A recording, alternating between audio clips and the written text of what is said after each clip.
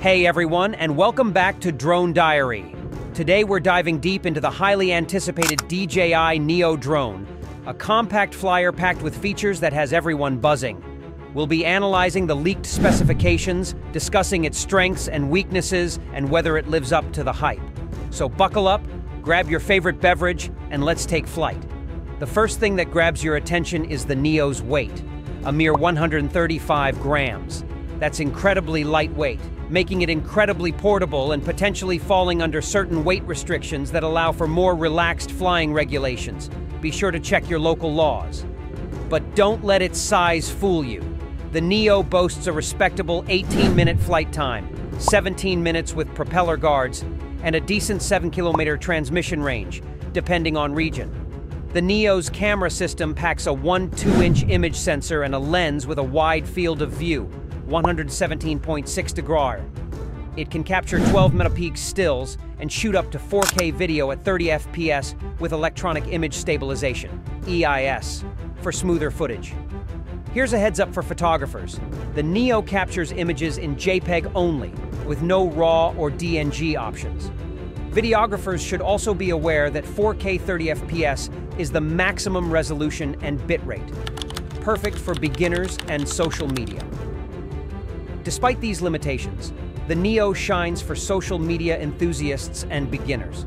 The image quality is still great for sharing on platforms like Instagram and Facebook.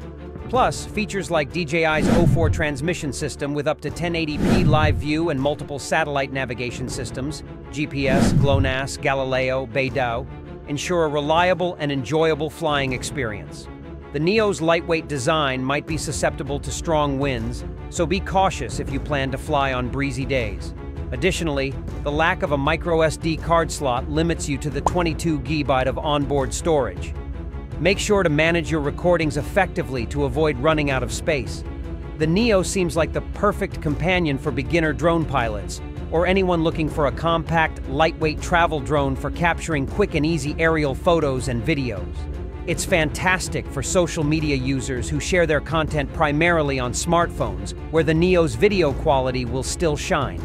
Interestingly, the Neo's size and low weight might also make it suitable for first responders who need to navigate tight spaces or fly indoors in dangerous situations. We're excited to get our hands on the DJI Neo and put it through its paces in the real world. While it might not be ideal for professional photographers or videographers, the Neo offers a compelling package for beginners, social media enthusiasts, and potentially even first responders.